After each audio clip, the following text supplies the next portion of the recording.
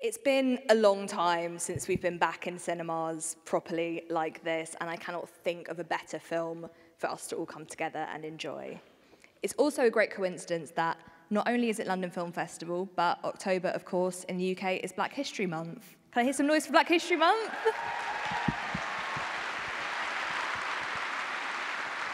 Thank you, thank you. And this is a film that celebrates blackness throughout. All of the characters in the film are based on African American cowboys that really existed, but we often don't get to hear their stories. And they're brought to life so vividly by this incredible all black ensemble cast. Yeah. I know, I know, I'll bring them out in a minute, I promise. The soundtrack also highlights black music from across the world, and trust me, it is going to sound amazing in this space. The film also has two very wonderful black producers and, of course, an incredible director in Jeymes Samuel. I know that when this, yeah, get, make some noise for Jeymes. And I know that when this film finishes, you're going to be as surprised as me that this is his debut feature film. It really is an astounding piece of work. So, all of that to say, The Harder They Fall really is black excellence all round.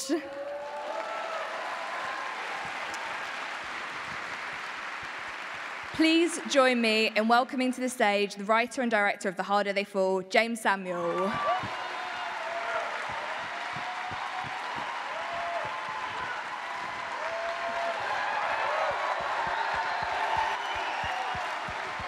How are you feeling, Jeymes? It's interesting because I spent so many years sneaking into screenings at the London Film Festival. I didn't want to break, break tradition. I ain't even got a ticket. I snuck in, like. so I'm waiting for someone to kick me out, but. Right, there are security in the wings. If you just uh, dodge them, I think you'll be all right. Um, Jeymes, do you want to bring on some of the people that helped you with this film? Absolutely. Without further ado, allow me to welcome to the stage my producer extraordinaire, a legend in his own right, a guy by the name of James Lassiter.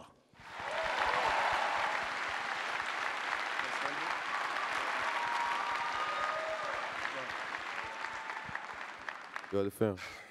The next person I'm about to welcome to the stage is a man that needs no introduction. You may know him simply by. Others may know him by It's the Rock. A man producer, artist, Shawn Jay Z Carter in the building. Ooh, ooh, ooh, ooh. The God. Yeah, yeah, yeah. What's up, y'all? Next, I'm going to call to the stage uh, my right hand man when we're in the trenches together from shooting to post production. My editor, I love this guy, I'm a huge fan of him, all the way from New Zealand and all over the world. Tom Eagles. Now, the next person I'm gonna bring to the stage, I'm gonna do this real quick. next person I'm, I'm gonna bring to the stage, I need you, you guys to join, join in with me to say something, right? After three, you have to say Cal Mazate, right? Cal Mazate is Romanian for calm down. Because this guy is one excitable human being. My cinematographer, I'll call him in a minute. But Cal Mazate after three. One, two, three. Cal Mazate! Hey. Mihai Mălaimare Jr.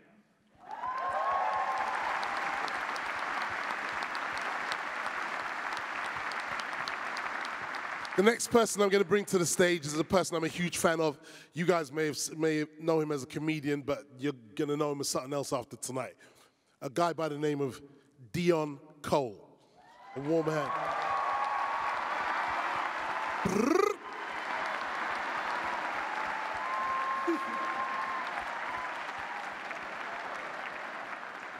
the next person, the next, the, the next person I'm bringing to the stage, if you don't know him now, you're gonna know him after this movie. He plays a character called Jim, called Jim Beckwourth, this man is amazing, and the work he put into this role, I'm so proud of him. RJ Cyler.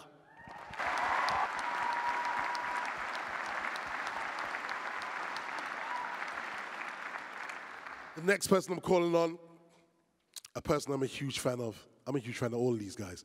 Edi Gathegi, where you at? Where you at?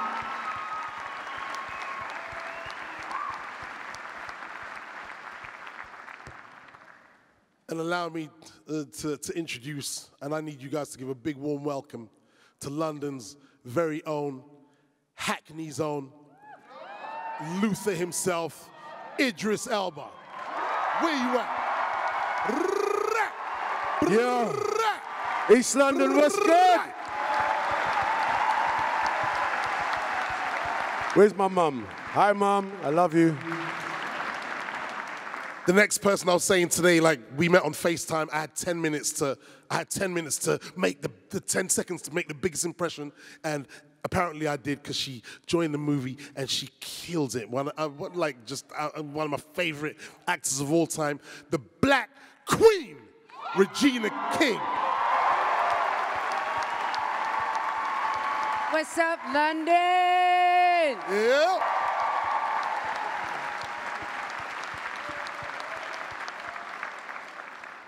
The last person I'm calling to the stage is our hero, my right hand man, person that was with me in the trenches, and then the pandemic came. Remember when the album came out, COVID 19, and the whole world was scared of it. And this guy was like, You ain't leaving New Mexico. You're staying in New Mexico, Jeymes, but I have to get back home to London. You're staying in New Mexico. And he's the lead of our film, Mr. Jonathan Majors.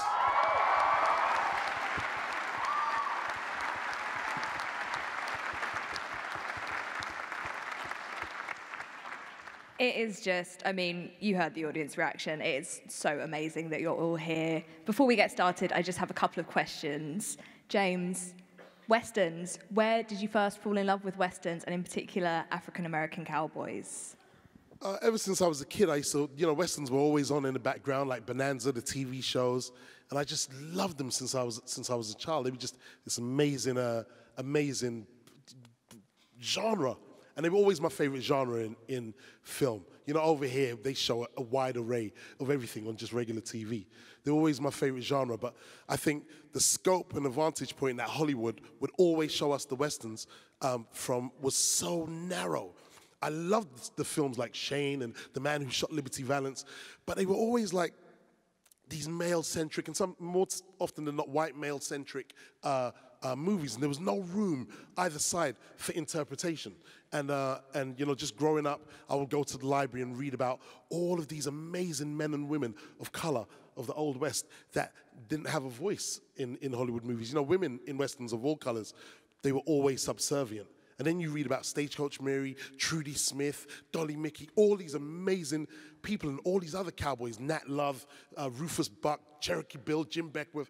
And I just wanted to assemble them all in one place and one time, like the Avengers, in one kind of fictional tale and swag out. So when you watch it, it's like, Rah!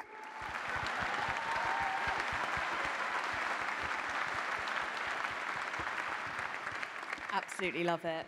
And Jonathan, in your work, you've done a very similar thing to Jeymes in that you choose a lot of roles that really sheds a light on black stories that we don't often get to hear. What is it that leads you to those roles? I think it's just the Lord that brings them to me. no, I um, I, I I appreciate the question, and I I think you're right in a way. Um, and I think I feel responsible for the for the roles. I mean, I'm a black man. I'm very proud to be one. Um, and the stories of our people um, are a metaphor. You know, I think we just, I'm just, we're just beginning. I, I am just an advocate for my experience um, of the black experience, the African diaspora. But it's, if I'm doing it, well, then we can have the Asian population do it. We can have the Mexican population do it. And ultimately, is to keep the entire quilt of humanity and to make the entire quilt of humanity full.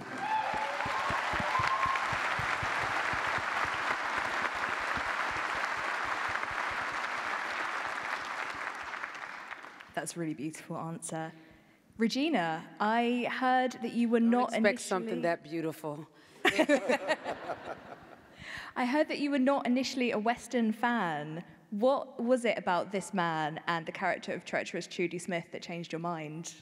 Well, I mean, you guys got a glimpse of Jeymes coming out here. I mean, he can talk you into anything. But beside, outside of that, I mean, he's a visionary. And one of the things that um, I want and hope this film does is it inspires people to expand their thinking. This is not a Western. This is, he's created his own genre, and that's what we should do as storytellers. We shouldn't think in boxes. So it was just that energy, that vision that um, made me say, yeah, I'm gonna take this ride with this man, you know. And then Idris was signed on, so I mean, you know. No. Might have sweetened the deal a little bit. And lastly, Idris, how does it feel to have the world premiere of this film in your hometown? Yo, I'm so proud. Look, you know, Jeymes and I go back 15 years, and you know, we probably snuck into a couple of these festivals around the back a couple times. And we never, I mean, we never thought that one day we might be here opening the festival with uh, a film that, you know, that Jeymes has, has imagined and brought to life. So, look, London, you know me, man. I love my town, but it feels so good to bring this movie, which I believe is a revolutionary movie. It's very hard to redefine a genre, and Jeymes you've done it. And here we are opening this movie in my town, in our town. It feels so fucking good. Excuse my language. I'm so happy.